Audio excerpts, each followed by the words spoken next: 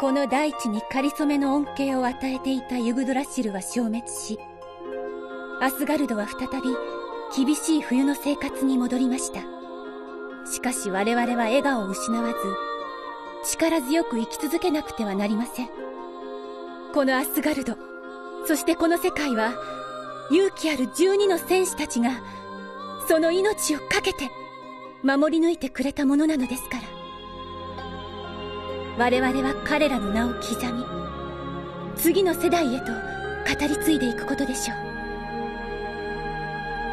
栄光のアテナのゴールドセイントたちの名を。